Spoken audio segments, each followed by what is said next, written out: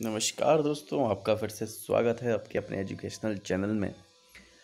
दोस्तों, आज मैं आप सभी को सबसे पहले 15 अगस्त 2019 जो हमारा तिहत्तरवा स्वतंत्रता दिवस है, उसकी बधाई देना चाहता हूँ।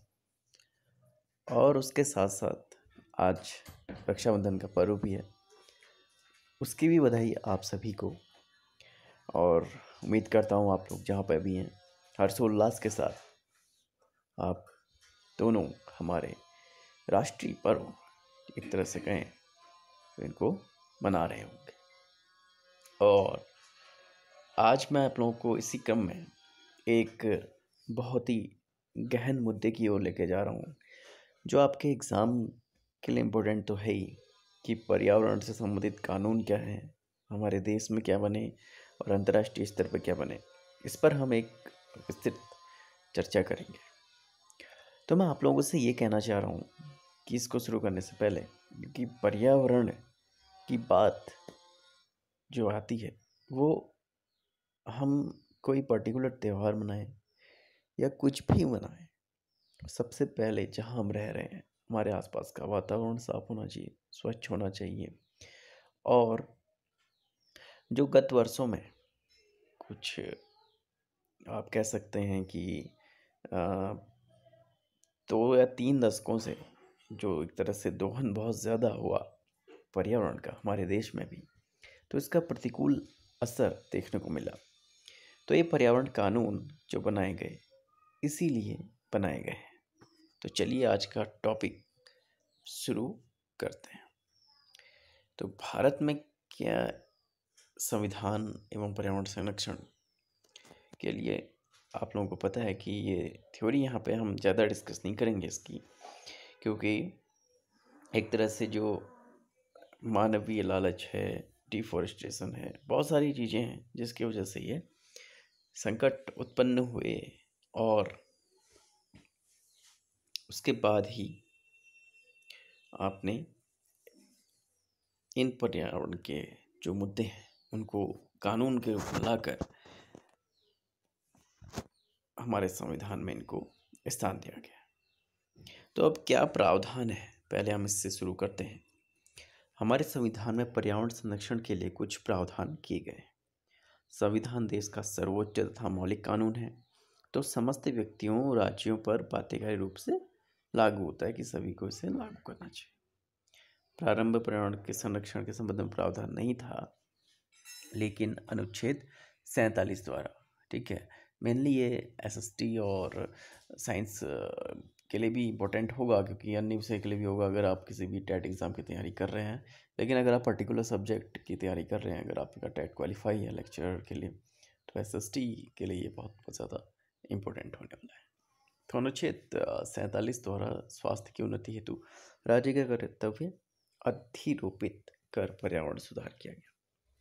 संसद द्वारा बयालीसवें संवैधानिक संशोधन द्वारा पर्यावरण संरक्षण के लिए अधिनियमों को पारित करके संविधान के भाग चार में राज्य के नीति निर्देशक एवं मूल कर्तव्यों में सम्मिलित किया गया है।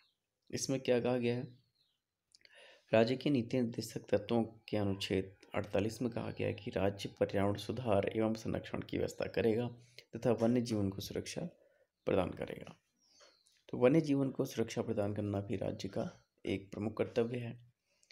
संविधान के भाग चार कौ में अनुच्छेद इक्यावन में मूल कर्तव्यों में प्राकृतिक पर्यावरण की, जिसके अंतर्गत वन, झील तथा अन्य जीव भी हैं, इनकी रक्षा करें और इनका संवर्धन करे तथा प्राणी मन के प्रति प्राणी के प्रति अपने मन में दया का भाव रखें।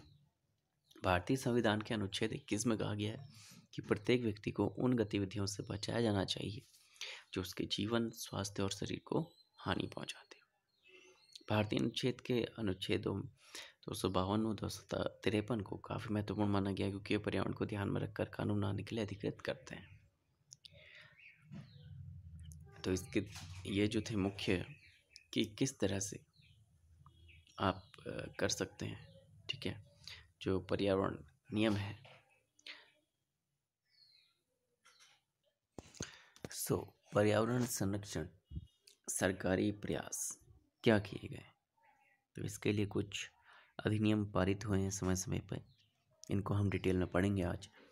पहला है वन्य जीवन संरक्षण अधिनियम उन्नीस सौ बहत्तर यह आपसे अक्सर पूछा जाता है एग्ज़ाम में। जल प्रदूषण नियंत्रण अधिनियम उन्नीस सौ चौहत्तर, वायु प्रदूषण नियंत्रण अधिनियम 1981 पर्यावरण संरक्षण अधिनियम 1986 खतरनाक अपशिष्ट प्रबंधन एवं निष्पादन अधिनियम 1989 ध्वनि प्रदूषण नियमन एवं नियंत्रण अधिनियम 2000 भारतीय दंड संहिता 1860 यानी कोवाम स्कीम तो ये एक स्कीम है, ये भी लागू की गई। तो सबसे पहले अगर हम बात करें पर्यावरण संरक्षण अधिनियम उन्नीस सौ छियासी, यह क्यों इसको लागू करने की ज़रूरत पड़ी? तो इसमें क्या हुआ था कि उन्नीस, आप लोग को पता है, भोपाल गैस त्रासदी सभी लोग जानते हैं, ज़्यादा डिटेल में हम इसमें नहीं जाएँगे। ये 1984 की बात है, ठीक है? तो इसमें लगभग जो हज़ारों लोग की मृत्यु हुई थी इस मिथाइल साइनाइड गैस के रिसाव से। तो इनमें मतलब अभी भी उस गैस रिसाव से लगभग पाँच लाख से लोग अभी भी प्रभावित हुए थे उस समय। और अभी भी इसका कहीं ना कहीं पे प्रतिकूल प्रभाव झेल रहे हैं, ठीक है? लेकिन जो नागरिक कानूनों के कारण क्या है घटनास्थल से, ये फरार हो गए थे, जिनके द्वारा ये गलती हुई थी। तो इस तरह का ना हो आगे तो इसके लिए भीषण आपदा जिसने पर्यावरण संरक्षण अधिनियम के निर्माण को जन्म दिया, ठीक है, वो यही थी। तो इसलिए जो है 1986 में सरकार द्वारा भोपाल गैस त्रासदी के रूप में इसको उन्नीस सौ बहत्तर में मानव पर्यावरण को लेकर संयुक्त राष्ट्र की बैठक में संपन्न हुई। इस बैठक में 122 देशों ने जो है हिस्सा लिया था, ठीक है? तो उन्नीस सौ छियासी में इस पर्यावरण संरक्षण अधिनियम का उद्देश्य मानव पर्यावरण में सुधार और संरक्षण करना है। तो इसका प्रमुख उद्देश्य है मानव पर्यावरण में सुधार और उसका संरक्षण। फिर आया वायु प्रदूषण अधिनियम उन्नीस सौ इक्यासी। आपको पता है कि जो बढ़ता औद्योगिकरण है, उसके कारण पर्यावरण में लगातार वायु प्रदूषण हो रहा है, ठीक है? तो इस तरह से ऐसा आगे ना हो। इसके लिए जो हमारी सरकार है, उन्होंने वायु प्रदूषण अधिनियम को बनाया। ठीक है? इसमें कुछ आप लोगों के क्या कर, क्या है कि जैसे कोई आप नई औद्योगिक इकाई कहीं पर लगाना चाहते हैं तो आपको क्या है कि अनापति एक प्रमाण पत्र लेना पड़ता है बोर्ड से। और आप क्या करेंगे कि वायु प्रदूषक के सैंपल को भी इकट्ठा करेंगे कि एक मानक दिया है उस मानक से ऊपर आप लोगों को जो है यहाँ पे पर्यावरण प्रदूषण करने की इजाज़त नहीं दी जाएगी कि जिससे पर्यावरण को ज़्यादा नुकसान ना हो, ऐसे कुछ मानक स्थापित किए गए हैं। और अति प्रदूषित क्षेत्र हैं, वहाँ पर तो आप नई औद्योगिक इकाई लगा ही नहीं सकते हैं। तो इस तरह के कुछ प्रावधान इस नियम में और जो अधिनियम का पालन न करें, उनके खिलाफ भी क्या है, राज्य सरकार का एक अधिकार है कि उनके खिलाफ वो कार्रवाई कर सकती है, ठीक है? जल प्रदूषण, आपको पता है कि जल इन्हीं औद्योगिक इकाइयों के जो अपशिष्ट पदार्थ हैं, वो अभी अधिकतर जो है उचित व्यवस्था न होने के कारण जल में ही बहा दिए जाते थे। तो इस कानून को पेश करने का मतलब यही है कि उन्नीस सौ चौहत्तर में आया। तो इसमें क्या किया गया कि स्वच्छ जल सुनिश्चित करने के लिए एक केंद्रीय प्रदूषण नियंत्रण बोर्ड तथा राज्य के प्रदूषण नियंत्रण बोर्ड की स्थापना की गई है। ठीक है? इसमें क्या है कि इसमें भी निर्धारित मानक दिए गए हैं, जिसका सभी को पालन करना है। और केंद्रीय तथा राज्य बोर्डों की कुछ शक्तियाँ भी हैं, जिससे अधिकार उन्हें दिए गए हैं गवर्नमेंट द्वारा, जिससे कि पर्यावरण प्रदूषण कम से कम हो। सॉरी जल प्रदूषण। किसी भी औद्योगिक परिसर में प्रवेश का अधिकार उन्हें दिया गया है। किसी भी जल में छोड़े जाने वाले तरल कचरे के नमूने लेने का अधिकार औद्योगिक इकाइयाँ तरल कचरा तथा सीवेज के तरीकों के लिए बोर्ड से सहमति लें। बोर्ड किसी भी औद्योगिक इकाई को बंद करने के लिए कह सकता है, वह दोषी इकाई को पानी व बिजली आपूर्ति भी रोक सकता है। फिर आया वन्य जीव संरक्षण अधिनियम 1972 आप लोगों को पता है कि गत कुछ दशकों से भारत में की अगर बात करें तो खाल मांस का व्यापार बहुत ज़्यादा ये बढ़ चुका था और इसके लिए जंगली जानवरों, पशुओं की हत्या की जाती थी। तो इस पर रोक लगाने के लिए सरकार ने छः अनुसूचियों में जो है अलग अलग तरह से वन्य जीवों की सुरक्षा के लिए क्या क्या है कुछ प्रावधान दिए। तो इसमें पहली अनुसूची और दूसरी अनुसूची में क्या है कि पूर्ण रूप से सुरक्षा वन्य जीवों को मिलती है। इसके लिए बायोस्फीयर रिजर्व्स सेंचुरीज का निर्माण किया गया है सरकार द्वारा कि इसमें आप किसी भी प्रकार की कोई गतिविधि नहीं कर सकते हैं। अगर इसमें किसी भी प्रकार का कुछ भी नुकसान आप वन्य जीवों को पहुंचाते हैं तो वहाँ पे आपको कठोरतम सजा का प्रावधान है। अनुसूचित तीन और चार भी वन्य जीवों को संरक्षण प्रदान करते हैं, लेकिन इनमें सजा जो है थोड़ी कम मिलती है। और अनुसूची पाँच में वे जानवर शामिल हैं जिनका आप क्या शिकार कर सकते हैं और किन परिस्थितियों में कर सकते हैं, यह भी उसमें बताया गया ऐसे ही अंतिम अनुसूची में आप पौधों की खेती व रोपण पर रोक है जो संरक्षित हैं, यानी कि जिन्हें सूचित संरक्षण मिला हुआ है और ना आप उनकी खेती कर सकते हैं, ना उन पर उनका कहीं पे रोपण कर सकते हैं। ठीक है। तो इस तरह से आप किसी भी प्रकार के वन्य जीवों को हानि नहीं पहुँचा सकते। फिर पृथ्वी सम्मेलन उन्नीस सौ बयानबे इसके बारे में हम अलग अलग प्रश्नों के रूप में चर्चा कर चुके हैं पहले भी दोस्तों, कि मेनली जो पृथ्वी का तापमान अचानक इतना बढ़ रहा है, ठीक है ग्लोबल वार्मिंग का जो कॉन्सेप्ट है, उससे निपटने के लिए ये पृथ्वी सम्मेलन उन्नीस सौ में हुआ था। इसमें क्या इसके मुख्य उद्देश्य थे? विश्व में पर्यावरण की स्थिति का अध्ययन, दो हज़ार के बाद विकास की समीक्षा करना ठीक है। तो इस तरह से जो है इसकी कुछ उपलब्धियाँ थी। इसमें दो एजेंडे सामने आए थे, एजेंडा ट्वेंटी वन और रियो घोषणा। और आप लोगों को पता है, ही कि रियो डी जेनेरियो यानी ब्राज़ील में ये सम्मेलन हुआ था। एजेंडा ट्वेंटी वन में जो विषय थे, गरीबी, उपभोग के ढंग, स्वास्थ्य, मानवीय व्यवस्थापन, वित्तीय संसाधन और प्रौद्योगिकरण उपकरण, जिनमें उपभोग के ढंग में कुछ मानक जो हैं, स्थापित किए गए थे। ठीक है? इन मानकों को पालन करना सभी देशों के लिए ज़रूरी था।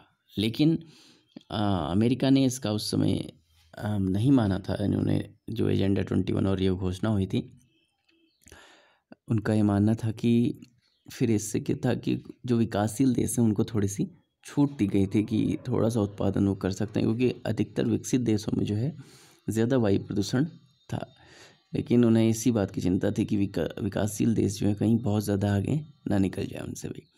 उस समय तो उन्होंने नहीं माना था, लेकिन बाद में अपनी एक तरह से कहें कि अपनी ही सुरक्षा के लिए उन्हें इसको मानना पड़ा, क्योंकि इतना प्रदूषण अगर वहाँ पर हो चुका था, अगर और बढ़ता तो बहुत दूरगामी परिणाम बहुत भयंकर होने वाले तो सत्ताईस सिद्धांत इसमें है रियो घोषणा में, और एक सौ बयासी देशों ने जो है इस पर हस्ताक्षर किए हुए हैं। ठीक है? तो इसमें वन परिषद का भी निर्माण किया गया है विकासशील देशों के लिए।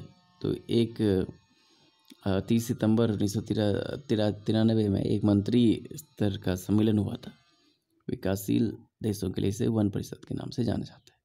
इस सम्मेलन में नौ विकसित राज्य, चालीस विकासशील राज्य और प्रतिनिधियों तथा सात अंतर्राष्ट्रीय संस्थाओं ने पर्यवेक्षक ने भाग लिया था।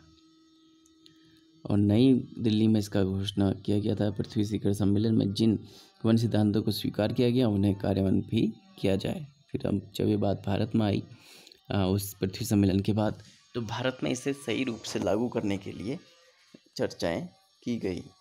ठीक है? तो ये था कुछ कानून के संबंध में। मेनली आप लोग अगर कम्पटिटिव एग्ज़ाम्स की केवल तैयारी कर रहे हैं तो आप लोगों के लिए जो ज़्यादा ज़रूरी है वो यही है कि आप इनकी डेट्स को कम से कम इनके ईयर को याद कर लीजिए कि कौन से साल में आपका आ, कौन सा कानून दिया गया था। तो लेकिन जो लेक्चर की तैयारी कर रहे हैं उन्हें ये पूरा इसको अच्छे से रीड करना होगा। कहीं पे अगर आपको समझ में ना आए कुछ बातें आप दोबारा जानना चाहें तो आप मुझसे पूछ सकते हैं। मैं आप ही लोगों के यहाँ पे बेनिफिट के लिए वीडियोस डालता हूँ। इसको आप सपोर्ट कीजिएगा और अपने दोस्तों में भी ज़्यादा से ज़्यादा शेयर कीजिएगा। तो एक बार इसका स्क्रीन भी आप ले सकते हैं, क्योंकि एग्ज़ाम में अक्सर आते हैं। तो मिलते हैं दोस्तों आपसे नेक्स्ट वीडियो में किसी नए टॉपिक के साथ। तब तक के लिए happy learning friends thank you